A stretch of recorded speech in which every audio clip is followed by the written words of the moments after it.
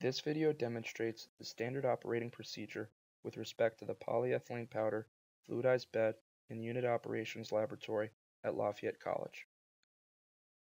Before operating the fluidized bed, ensure all safety precautions are met. Proper lab attire consisting of long pants, closed-toed shoes, and safety goggles must be worn when operating the fluidized bed column. When handling the heat gun and metal tags, ensure that the heat gloves are worn to prevent burns. First, familiarize yourself with the setup of the apparatus and identify the location of the following. Air supply valve, air filter, pressure gauge, airflow meter and valve, air plenum, air distributor plate, column pressure drop gauge. Turn on the air supply valve to the system.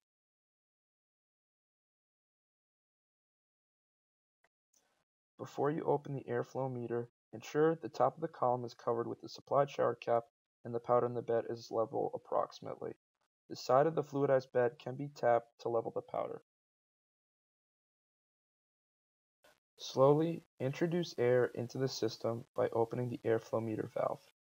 If the bed starts to slug, reduce the flow of air to the column by closing the valve slightly.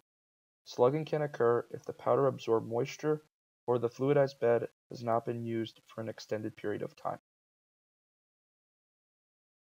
Once the bed is fluidized, remove the cover and set the airflow to the desired flow rate, which must be above the minimum fluidization velocity. To learn how to determine the minimum fluidization velocity, watch the related video, Determination of the Minimum Fluidization Velocity, on the Lafayette CHBE YouTube channel. Above the minimum fluidization velocity the powder behaves as a dense fluid.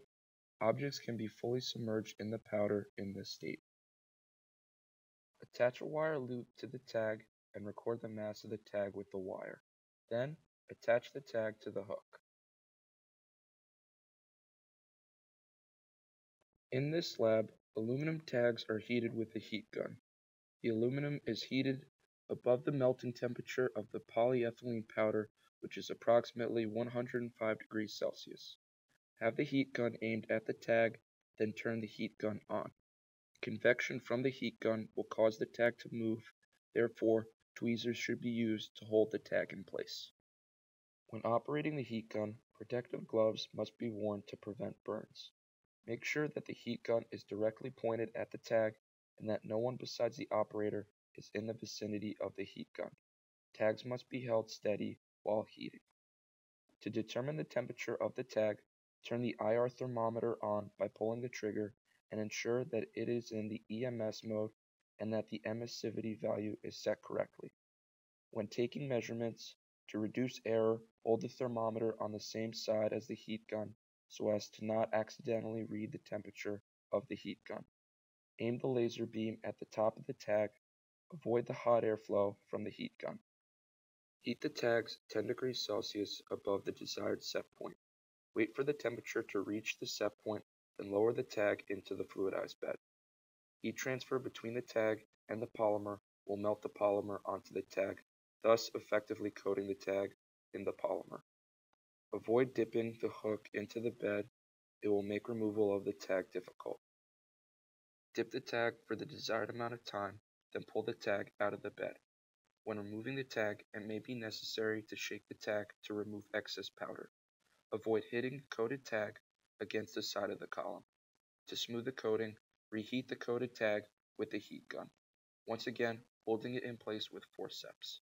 Do not grab the coated part of the tag with tweezers or you will transfer the melted polyethylene to the tweezers. Once the tag is cooled, record the mass of the coated tag and wire. This value can be used to calculate the coating thickness. To shut down the apparatus, ensure the heat gun is turned off and unplugged. Slowly decrease the airflow to about 20% and shut off the air supply valve.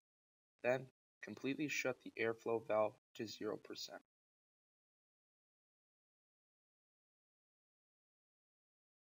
In case of an emergency, shut off the airflow, close the air supply valve, turn off the heat gun, and cut the power to the apparatus. To learn more about the operation of the fluidized bed, watch the related videos on the Lafayette CHBE YouTube channel.